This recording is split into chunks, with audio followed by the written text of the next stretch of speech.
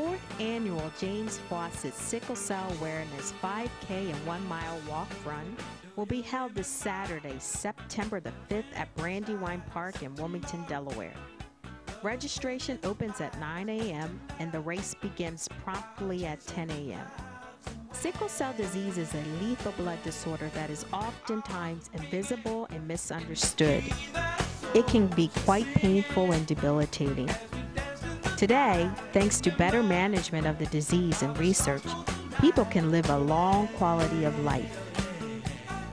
Proceeds from the fourth annual Sickle Cell Awareness Walk will help to fund access to quality of care programs and research for this horrible disease. Please sponsor a team for this walk.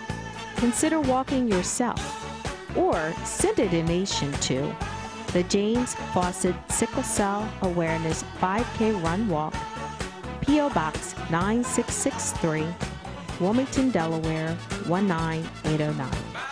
For more information, go to www.racestoRun.com or to our Facebook page at Tova Community Health or call 654 6400 today.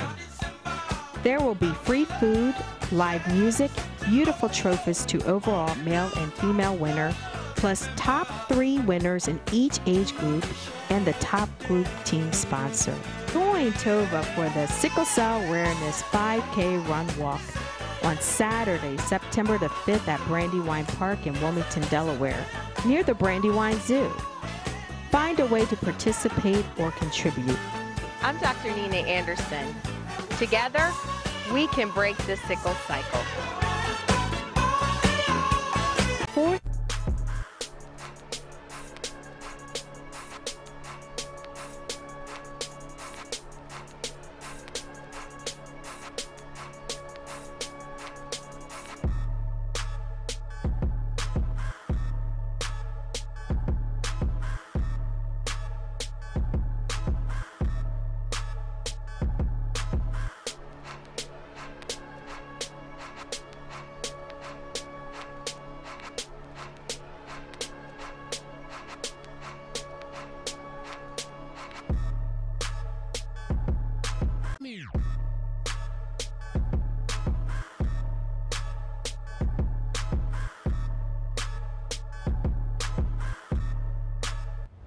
Good afternoon. Welcome to Straight Talk. I'm your host, Charles Potter Jr. Today we have another very, very exciting show for you. I guess um, I'm happy to be back sitting next to my co-host who she's trying to steal my show. So if I get kicked off air, you know that she stole the show. How you doing, Nicole? I'm great, thank you. Good. You know, I didn't say Nicole Gaines. And you know what? The Surratt family asks me about that every time I see them. Is that right? Yeah, I told them that you, you're just joking with me. Yeah, I'm just joking. Because they'll come after you. Oh, okay. It's too many of them. It's a lot of them. That's right. um, before we go to our guests, and we have uh, Dr. Nina Anderson here, but um, I don't want Julius getting mad with me, so I gotta say, Dr. Nina Anderson Cephas. Is that the proper way to? Yes, that's That is fine. okay. So you're gonna hold on to your uh, your name. My wife did the same thing a Yes. long time ago. Yes. Uh-huh. you want to tell us about that? About The name. oh my name.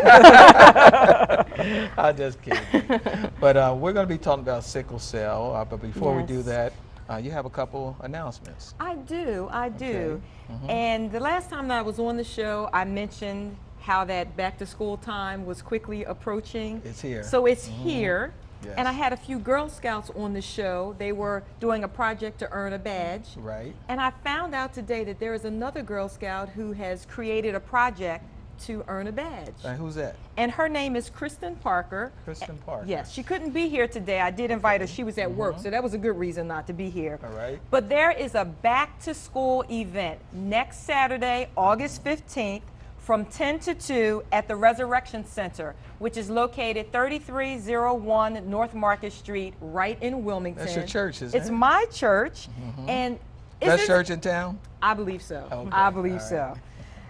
This is just not your regular back to school drive. All right. In addition to school supplies, the first 175 young people who show up will also receive free coats. Oh wow, free coats. Free coats because that's once September gets wow. here, Yeah. Fall's going to kick in. They're going to need, you know, a little different type of jacket. Right. The first 175 young people who attend Uh-oh. will receive free coats, free school supplies, free food and Mm-hmm. snacks. There will be a DJ, games, crafts, prizes, and much more That's this Saturday coming. this Saturday. So if you have a young person who needs a school bag, of pencils, crayons, whatever, Mm-hmm. show up. Or if you're a person like myself whose Right. children are grown and you want to make a donation, just take it over to the Resurrection oh Center. wow, that's excellent. That's So that would be this Saturday, September 15th from 10 to 2. Mm-hmm. And then I would also like to talk a little bit about Inspired. Go ahead. Yes. I am promoting health and wellness as a lifestyle. You've been doing that for a long time. I have, now. and it's just I'm really just passionate about it. I don't want people to receive a diagnosis before they start to make lifestyle changes regarding their health. Okay. So I focus on physical, mental, emotional well-being, stress Mm-hmm. management, and of course breast cancer awareness. And subjects like stress are not Mm-hmm. just for individuals, but they're also impacting corporations. So what are you saying? Stress plays a lot with your health. It does, and there's also a connection, and I know Dr. Nina will attest to it, to Mm-hmm. chronic health diseases such as sickle cell, such as cancer. Okay. So for corporations, I'm also available to train their employees because it impacts their bottom line. Right. So a stressed out employee, that's going to result in decreased productivity That's and right. increased absenteeism. So they should call you. They should call to keep me. the workers healthy. Absolutely. My number is 610 812 9997, and I'll repeat that 610 812 9997. When we talk about our health and wellness, mm-hmm. literally, it is a matter of life and death. Okay. So I that's what that. I, I want to share, and I'm available for workshops, What keynote about addresses. arguing? You know, is arguing healthy between men and women?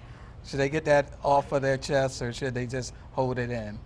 I think it's healthy. Okay. But I also think it's what you do with it afterwards. I mean, if you're still going to bed with it Uh-huh. and you're thinking about it and it's disrupting your sleep patterns, Get it off your chest. you need to get it off your chest. You need to Uh-huh. resolve it. But I think holding it in, that that eats you up emotionally. Okay. So not So- well. Don't do a lot of arguing. Is the bottom line, right? You uh, agree to disagree. Okay. Now, Dr. Nina Anderson. Hi, how are you? Good, good, good. Now, tell us about you. I know that you're from Wilmington. Yes, I grew up in 29th Street at Haynes Park, which is in your district, That's where my right. uncle was the former state representative there, And your uncle's name? Ray Evans. Wow, Ray Evans. So you're Wilmington product, and now you're a doctor. Yes. How amazing. Public school?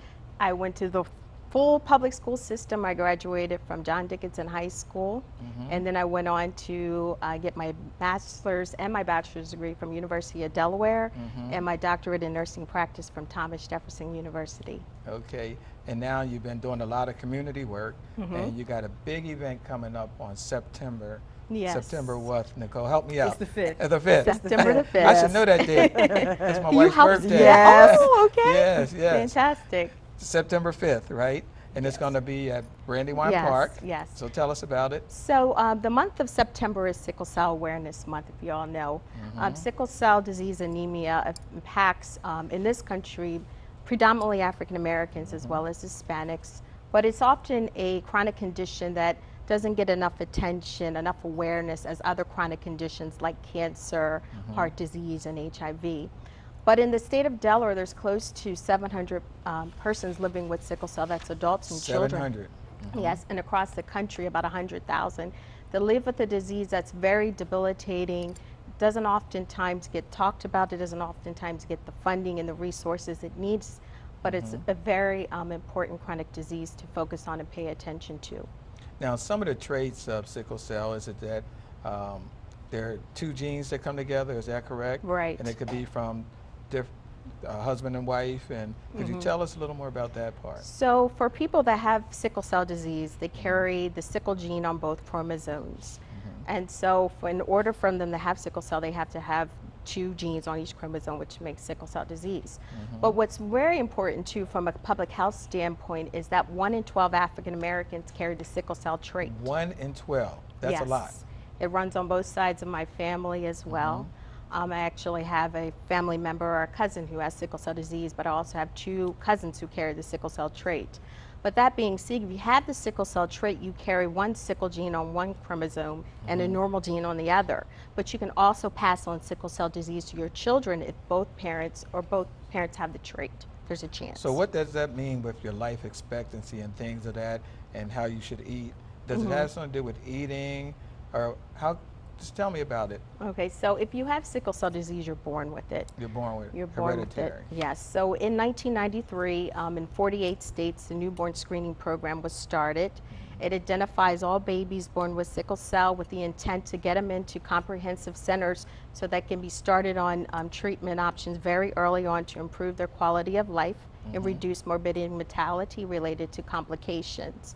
Um, when I talk to patients and when I have families that are newly babies that are newly diagnosed, I don't focus on life expectancy Okay. because I don't want to say that they're only going to live so long. I mean Okay. that that I think that's very disheartening. Yeah, it is. But I talk about things a healthy lifestyle, health and wellness. I talk about their emotional, their physical health, um, and their spiritual health as well because when they become older and they become adults, about 30% of them live with chronic pain every day of their Chronic lives. pain. Wow. Could you describe some of that and what people can do? Because people are sitting around saying, I'm wondering if I got sickle cell, what should they do? Well, first of all, I think is really important is that um, from the original research that I did that was published in 2014, found that close to, with 96 adults in the state of Delaware that had sickle cell, the state paid close to $3.2 million just on their hospitalizations alone. Hmm. And if you adjust that for inflation today, that would be close to $4 million. Wow. So I think what's really important is the conversation needs to go and to get the support of the healthcare community is to find ways of providing preventative and a very holistic, comprehensive approach to their care in which you focus on their physical health, but also their emotional and their spiritual health. Uh, Ways you can do that is exercising, mindfulness, meditation, and also using disease modifying therapies that they need to have access to, like hydroxyurea therapy. And, and define that. That's a big word. That's a big word. so hydroxyurea therapy is an old chemo drug. Um, it was yes, it was studied um, by John Hopkins in 1995, and it found that it increased what we call fetal hemoglobin levels, which increases, that reduces the amount of sickling in the blood. And what they found that with the adults that were in the study, it reduced hospitalizations and sickle cell pain by 50%. Wow, that's huge. yeah. You know what, Dr. Nina, as you were sharing information, you mentioned that there is a test done for newborns. And when did that start again? It started in 1993, and around the 1990s. Okay. I was about Yeah. to say, because I, my children were, were born prior to that. Right, Because I'm thinking, I don't remember Right. anything happening or any conversations about sickle cell disease. I was telling um, Charles earlier that only thing I remember growing up is hearing sickle cell anemia. Right. That's all I heard. That's too. all. Yeah. And so since it's 1993, that would explain why I'm not aware Right, of and it. I always say too, um, when I became 18, my mother, who was a nurse and worked at um, the Wilmington Hospital, just handed me my shop records and said, "You're okay. Go on with your life." Mm-hmm. But I don't even know to this day. I don't have children whether I have the sickle cell trait Mm-hmm. or not. And part of a PSA that I'm working on with my entertainment company is I'm actually going to go through the process and get tested. Oh, you are. Yes, I am. so that is available. It is available, and what's most important that the community doesn't realize is that you have to have a specific test called a hemoglobin electrophoresis because it looks at all types of what we call hemoglobinopathies, not just the sickle cell trait, but other types of traits. Because other types of traits in a combination with somebody who has a sickle cell trait can cause sickle cell disease. And it doesn't just affect African Americans, it affects people of all ethnic groups. So when you say hemoglobin, you're talking about the blood? Yes, I'm talking about the protein that the carries the protein oxygen to the, that to the carries the tissues. oxygen. So I'm, I'm very interested in this test Mm-hmm. because my background has to do with breast cancer. Mm-hmm. And I know that you can carry your trait and there is testing that can be done. But sometimes it's difficult to get the testing done. Are you finding that to be a challenge in terms of sickle cell trait testing or are uh, insurance companies giving patients a hard way to go in terms of paying Mm-hmm. for it? I would say it's a combination of both. Um, I would love to have the resources to be able to do a massive public health program in which you could go out to the communities and make sure that um, you could draw their blood in order to do that. That costs a huge amount of money, and obvious, you know that that's always a cost burden. Um, but it, you know, with the experts and the people that I work at in, in um, who work with sickle cell patients say that you don't want to just do a finger stick and do a screening because then you can have what you call a risk of false positives and false negatives. So you don't want you want to make sure that they get the most accurate test, and that is the electrophoresis. And for that, you have to draw their blood to do that. But when you say you would like to get out and do money, uh, you want to go out to the community and spread this information. Yes. And it costs money, but is it not true that it's more expensive if you don't do the preventive part? It is, and I think one of the worst things I had to do when I was working at the Mary Anderson Sickle Cell Center is make those calls every Thursday afternoon to new parents Oh, that wow. had babies that had, were positive for sickle cell, and and I always said, you know, when I talked to them, I was, they were like, well, I never knew I had the trait, Huh? you know, like I didn't know. And then they start talking about services. Where would you refer them? Did they usually say, well, I don't have the money, how can I get help? Or We would say, well, your primary care provider could do that, or you could also go to any federally qualified health center to do that. And in some cases, because we were a comprehensive sickle cell center, we would do the testing for the families there. I know Ivan is in the um, control room. I just want him to run that commercial again. It's about a minute Mm-hmm. and 30 seconds, so people could take a look at what happens. Describe it for me, this commercial, when they look at the, um, when you see the cells moving Right. around. Ivan, if he can cue that up and play that. Okay. So tell us, tell them what's going to happen when they see this commercial. Okay, so one of the things is um, when I when I talk to people about sickle cell awareness is that when you think of somebody with a disability, you think of somebody who's walking with a cane, that's in the or in a wheelchair, or is physically impaired. But for most of my patients, they are disabled, and they're They disabled because the chronicity of the disease and the fact It's that they never know talk. when they're going to get sick. So that um, crescent-shaped um, blood cell there is a sickle cell. Okay. Um, and uh, the round shaped uh, blood cell is a normal blood cell. But what happens is under crisis is those blood cells become jammed in the blood vessels. Okay. And when you don't get enough oxygen and nutrients to your tissues, your organs, uh, your major organs, it becomes very painful. you had a, another question. Yeah, I had a question because my background is in education. Okay. So I'm always thinking about how this impacts children. So if it's very painful, is it hard for parents to distinguish between what a, a child is experiencing in terms of being uncomfortable that's a part of the disease versus a part of, for example, growing pains? Mm-hmm. How can they differentiate between the two? Well, it starts very early. on. You have to know your child. And I say that number one. And number two is that even if they have sickle cell, I always tell the parents that you have a healthy child mm-hmm. with a chronic condition. So we don't Right. focus on the sickle cell, we Right. focus on them living a healthy lifestyle. Mm-hmm. And the other thing I tell them, it's like going through turbulence on a plane. When you have a crisis, there's a beginning to it and there's an end to it. And I mean, symptoms can be different from each child. It Could be swelling in their hands and feet very early on. It could be joint pain. So you think of everywhere in the body where there's blood flowing, they could have a crisis. But I think um, what's really compelling is a patient of mine who went on to have a child who had sickle cell um, that I took care of, and the child came out very healthy, I must say. And she said, Dr. Anderson, she said childbirth was easier than going through a sickle cell crisis. Wow. So that's So that's the amount of pain that they live with. What type of medicine do they most people take on? sickle Well, unfortunately, um, sickle cell was first um, found in the early 19th century, and uh, to this day, uh, thanks to Pharm- Pfizer Pharmaceutical, there is a drug that's being developed for sickle cell crisis, and it's called Oh. But we've been treating symptoms for the last century, and that's if you treat pain, you treat them with pain medications, you give them fluid, and sometimes they may need blood transfusion. And then I said the last 10 years, hydroxyurea therapies come on board. But if you think about a disease uh, that's been around for a century, you really only have one disease modifying therapy at this point of time that we How can, can offer for one them. tell the difference between um, arthritis and sickle cell? You know, Well, put it like this I have had um, to have a 12 year old have to have his hip replaced. mm, 12 years old 12 years old. Wow. Because of the pain. because of uh, the um, not getting enough oxygen and nutrients to the acetabulum joint of the ball and socket joint of the hip, it flattened. Mm. So, and when you talk about um, arthritic pain as a child and as an adult. It, I mean, children can have problems with their joints as well. May I? Sure. Uh-huh. One thing that I'm learning on my journey with cancer is I don't think we're having enough conversations about family family medical history within our homes, especially within the black community. Yes. So, would you agree that I'm on the right track and mm-hmm. kind of, I, I believe we need to be documenting things, we need to be talking to each other. You know, for cancer, it was considered the big C.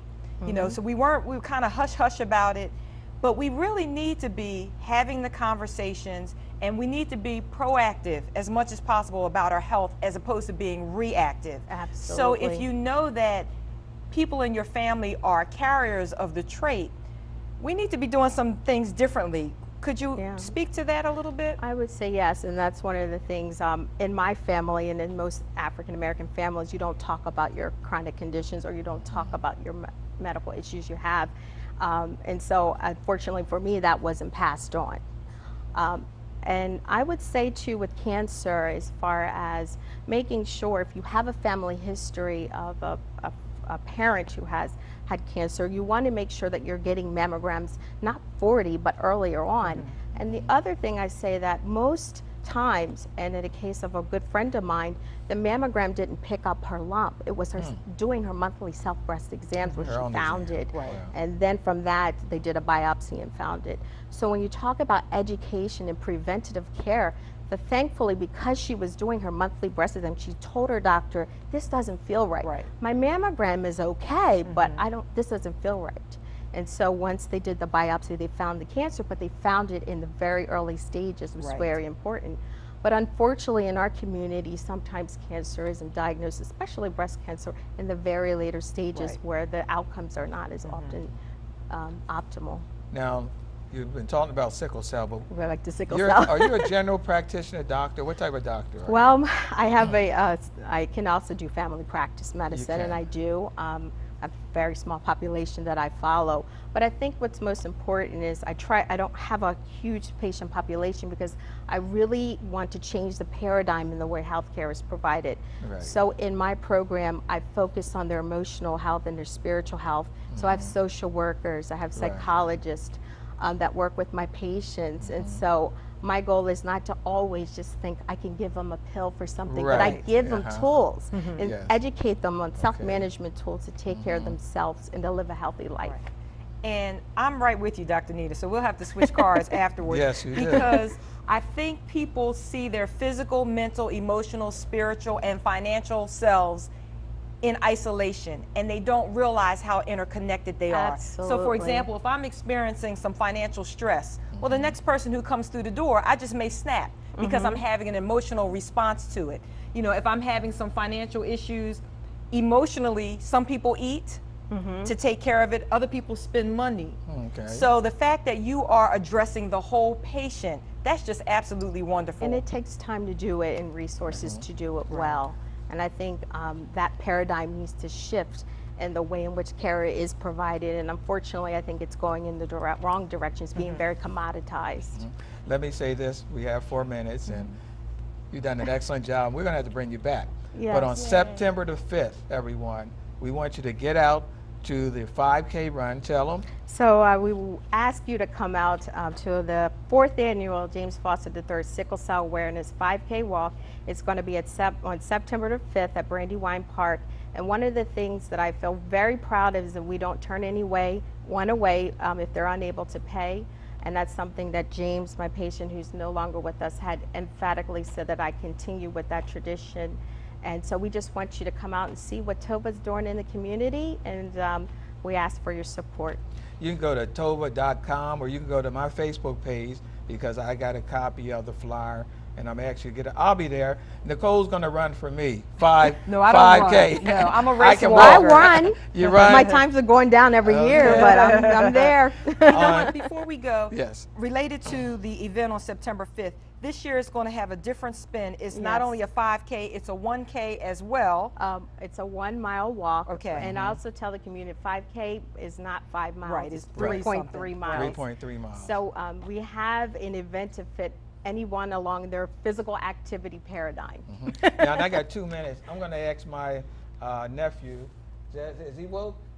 Look, he's, he's knocked out. Because when I leave here, I'm going down to the waterfront and have some fun with my nephew. You want to come on? Come on, you two young ladies, come on, sit right Aw, here. Come, come on. on. See, I got. See, I spend time doing other things. You can sit right here Aw. with me. This is. I'm gonna come on. I'll get you to say your name. Sit right here. now, what's your name? And come on, and you're. And Jazir, he's going to have a fit. He's sleeping, but uh, we're going and have some fun. And That's uh, good. matter of fact, I'm going to get these two young ladies to come down and join us on September the 5th. Thank you. They can walk, they can help out. They do a lot of volunteer work. Oh, we need is all the help we can And you'll get. have vendors there Yes. and other things? free food. Uh, we have moon bounce, and we have a lot of, of community um, uh, health organizations that'll be at like Be at the Match, um, Delmarva Blood Bank, the Sickle Cell Disease Association, Delaware Valley chapter of Philadelphia. Hurry up. Um, many more vendors there. right here. So it's Here a he fun comes. See event. that? Can we get a shot here now? This is Jazir. There's your name, Micah, and Nevaeh. And we're going to have some fun today, right? Yeah. All right. That's why I stay so young. Anything in closing? We just want you to come out, support TOVA, support sickle cell awareness. This is something that affects our community, and your help is greatly appreciated. And inspire? Inspired. Yes, if you are looking for a speaker promoting health and wellness as a lifestyle, give me a call 610 812 9997. All right. Take care. Enjoy your day because we surely will. Fourth annual James Fawcett Sickle Cell Awareness 5K and 1 mile walk run will be held this Saturday, September the 5th at Brandywine Park in Wilmington, Delaware. Registration opens at 9 a.m. and the race begins promptly at 10 a.m.